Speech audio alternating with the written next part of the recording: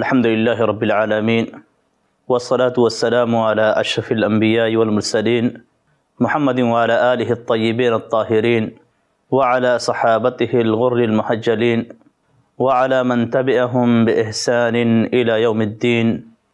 أما بعد یہ جنت میں لے جانے والے اعمال کے سلسلے کی ایک کڑی ہے۔ آج کی اس مجلس کے اندر ہم ایک ایسے عمل کے بارے میں بات کریں گے۔ جو بندہ مومن کو جنت کی جانب لے جاتا ہے۔ اور جس عمل کی نبی اکرم صلی اللہ علیہ وسلم نے بہت زیادہ فضیلت بیان کی ہے۔ اور جس عمل کو کرنے پہ اللہ تبارک و تعالیٰ نے قرآن مجید کے اندر بہت سارے مقامات پہ ہمیں ابھارا ہے۔ یہ عمل کون سا ہے جو ہمیں جنت تک لے جائے گا؟ یہ عمل یتیم کی کفارت کرنا ہے۔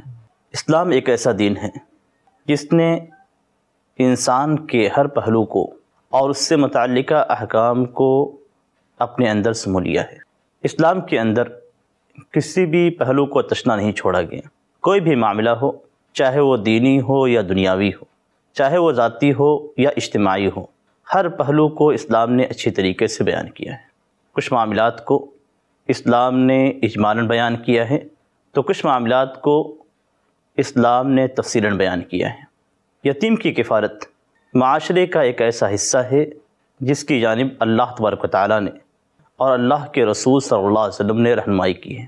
شریعت متحرہ کی جو خاصیت ہے، وہ یتیم کی کفارت میں بالکل نمایاں نظر آتی ہے۔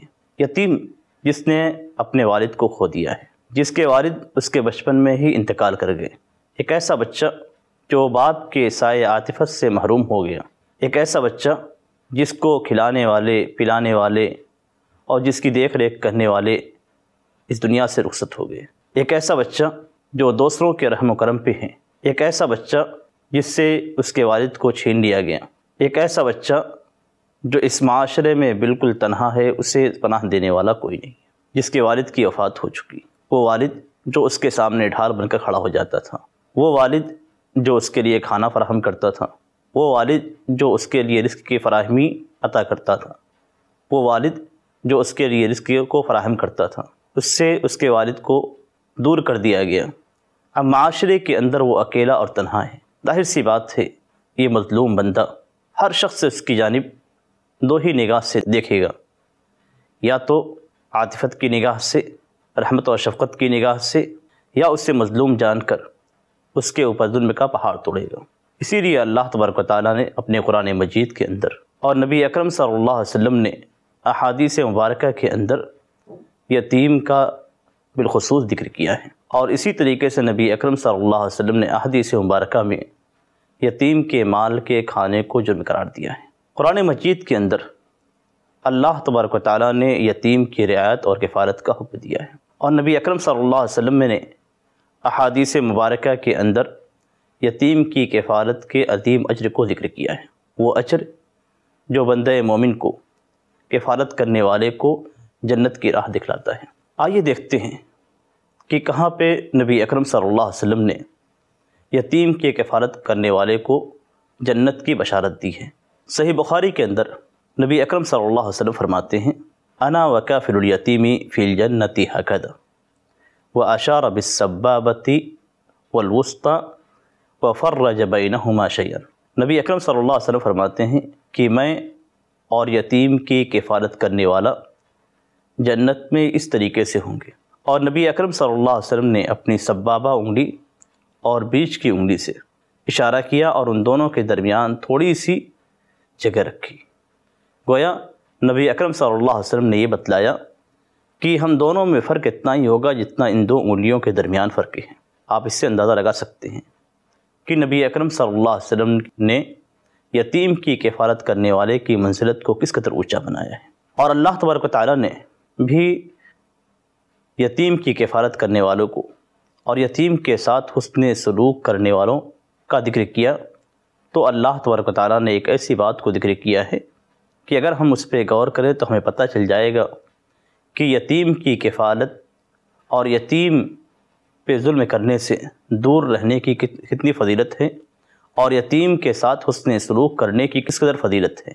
اللہ تبارک و تعالیٰ قرآن مجید اندر فرماتا ہے، وَإِذْ أَخَذْنَا مِيثَاقَ بَنِي إِسْرَائِيلَ اللہ تعبدوا الا اللہ وبالوالدین احسانا وبذن قربا والیتاما والمساکین جب ہم نے بنو اسرائیل سے یہ عہد و پیمان لیا کہ تم اللہ تبارک و تعالیٰ کے ساتھ کسی دوسرے کی عبادت نہیں کرو گے اور والدین کے ساتھ حسن سلوک کرو گے اور اسی طریقے سے قرابت داروں یتیموں اور مسکینوں کے ساتھ حسن سلوک کرو گے۔ اگر دیکھا جائے اس آیت کریمہ کے اندر، تو اللہ تبارک و تعالیٰ نے سب سے پہلا جو عہد لیا ہے، وہ یہ کہ اللہ تبارک و تعالیٰ کے علاوہ کسی اور کی عبادت نہ کی جائے۔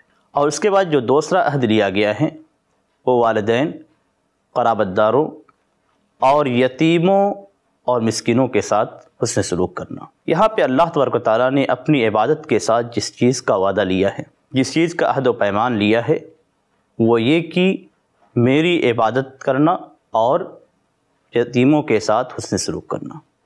گویا اللہ تبارک و تعالیٰ نے اپنی عبادت کے ساتھ یتیموں کے ساتھ حسن سلوک کو جوڑا ہے۔ اور ظاہر سی بات ہے، اللہ تبارک و تعالیٰ کی عبادت نہایت ہی عظیم درجہ اور مقام رکھتی ہے۔ تو اس سے جڑی ہوئی چیز بھی نہایت ہی اعلیٰ مقام اور اعلیٰ درجہ رکھے گی۔ تو دونوں کے اندر جو بات ذکر کی گئی ہے، وہ یہ کہ اللہ تبارک و تعالیٰ کی عبادت کی جائے۔ یہ اللہ تبارک تعالیٰ کا اعلیٰ مقام پہ، اس عبادت کے مقام پہ دراد کرتا ہے۔ اسی طریقے سے یتیموں کے ساتھ حسن سلوک اعلیٰ درجے پہ دراد کرتے ہیں۔ یعنی گویا دونوں کا مقام نہایت ہی اعلیٰ اور اونچا ہے۔ اس لیے کہ اللہ تبارک تعالیٰ کی عبادت کے ساتھ جس چیز کو ذکر کیا جائے گا، وہ انتہائی اعلیٰ مقام رکھتا ہوگا۔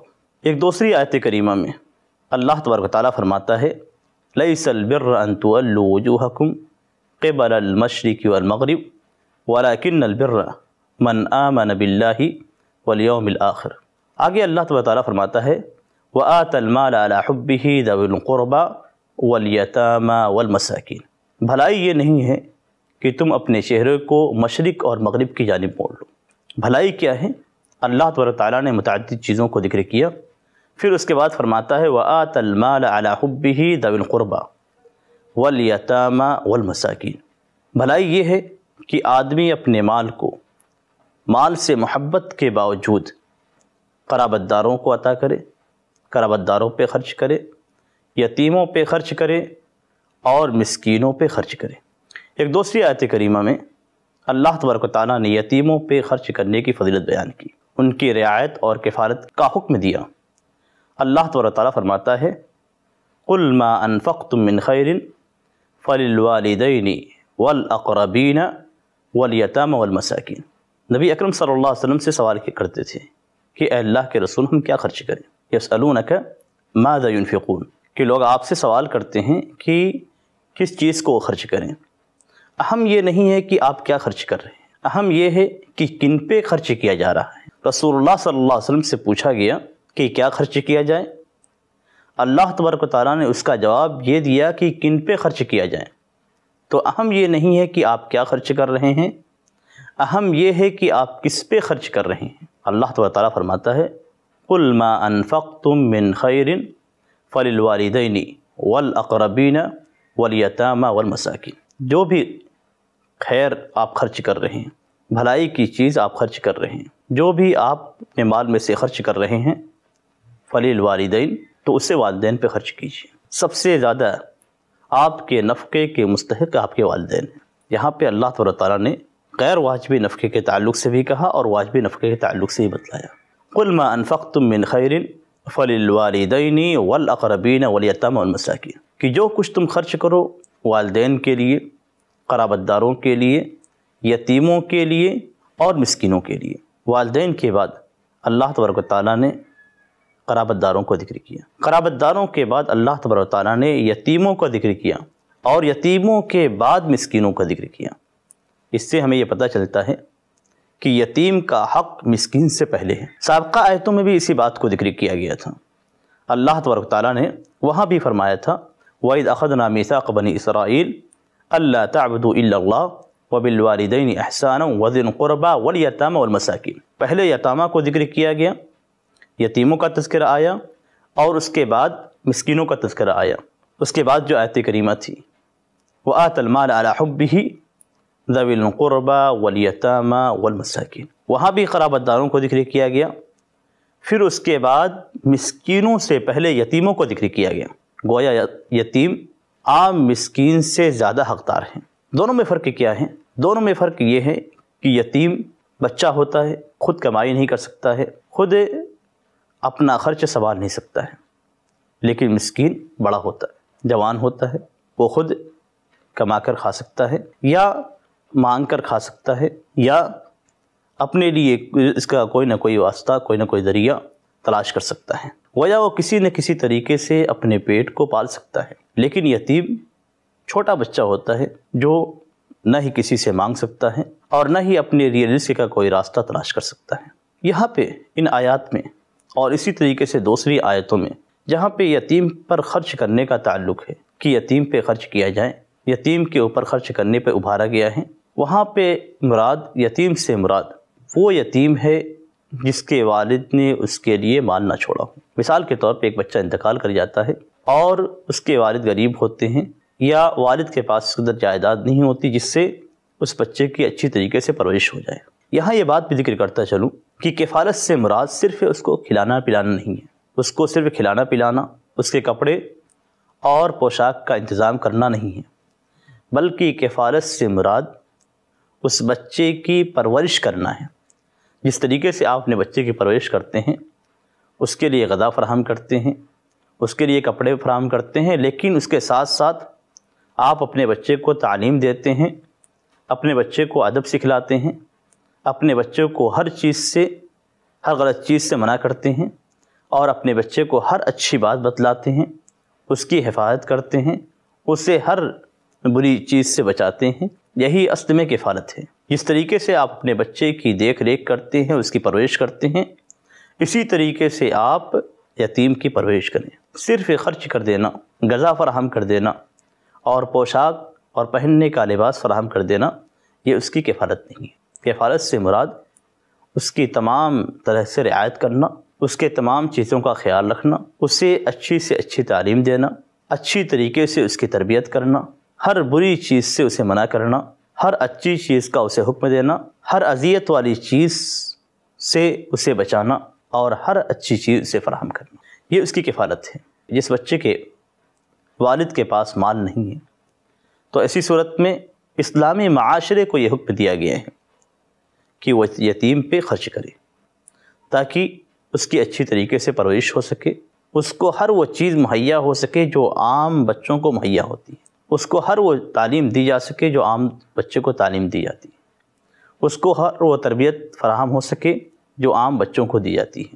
اسے ہر برے کام سے روکا جا سکے۔ ہر اچھے کام کا اسے حکم دیا جا سکے۔ ہر اچھے کام پہ اس کی تربیت کی جا سکے۔ یہ در حقیقت یتیم کی کفالت ہے۔ یتیم کی دوسری قسم ان بچوں کی ہوتی ہے جن کے والدین فوت ہو چکے ہیں، لیکن ان کے پاس بڑا سرمایہ موجود ہے۔ جس سے بآسانی اس بچی کی تربیت کی جا سکتی ہے۔ یہ بڑا ہو کر اپنے والد کے پیسوں کو سرمایہ میں استعمال کر سکتا ہے، اس میں سرمایہ کاری کر سکتا ہے۔ تجارت کر سکتا ہے اور اچھے ڈھنگ سے اس پیسے کو استعمال کر سکتا ہے۔ اس یتیم کی کفالت میں اس کے اوپر خرچ نہیں کیا جائے گا۔ اس کے اوپر زکوٰۃ کا مال نہیں خرچ کیا جائے گا۔ اس کے اوپر صدقہ نہیں کیا جائے گا، اس لیے کہ وہ صدقہ اور زکوٰۃ کا مستحق نہیں ہے۔ اس کے پاس اپنے والد کی جانب سے اس قدر مال موجود ہے، جو اس کی کفالت کے لیے، جو اس کی اپنے خرچ کے لیے کافی ہے۔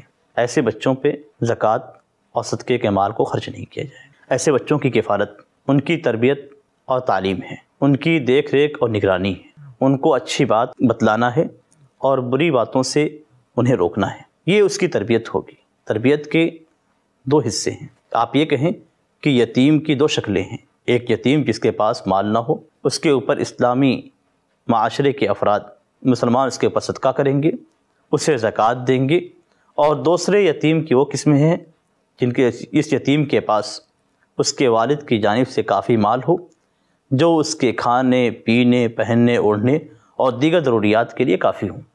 تو ایسے یتیم پہ مسلمان صدقے کا مال، زکوٰۃ کا مال خرچ نہیں کریں گے، بلکہ اس کے مال سے اس کے اوپر خرچ کیا جائے گا۔ وہ زکوٰۃ کا مستحق نہیں ہے۔ اور جو شخص زکوٰۃ کا مستحق نہیں ہوتا، چاہے وہ چھوٹا ہو یا بڑا، اس کے اوپر زکوٰۃ کے مال کو خرچ نہیں کیا جائے گا۔ تو اس بچے پہ جس کے پاس پہلے سے مال موجود ہے جس کے پاس والد کی، اپنے والد کی جانب سے چھوڑا ہوا مال ہے، اس بچے پہ صدقہ کا مال اور زکوٰۃ کا مال خرچ نہیں کیا جائے گا۔ بلکہ اسی کے مال سے اس کے اوپر خرچ کیا جائے گا اور اس مال کی دیکھ ریکھ کے لیے کسی شخص کو مقرر کیا جائے گا۔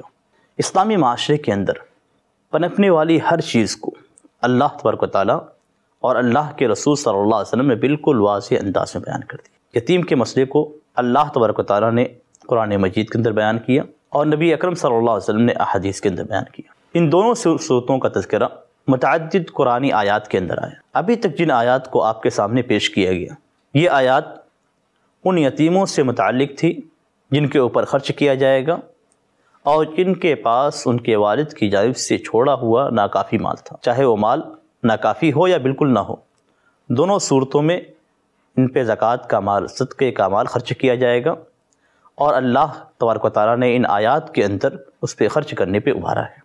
اور ظاہر سی بات یہ انتہائی نیک عمل ہے، انتہائی اعلیٰ درجہ کی عبادت ہے، مالی عبادت ہے، جسے اللہ تبارک و تعالیٰ نے اپنی عبادت کے ساتھ جوڑا ہے۔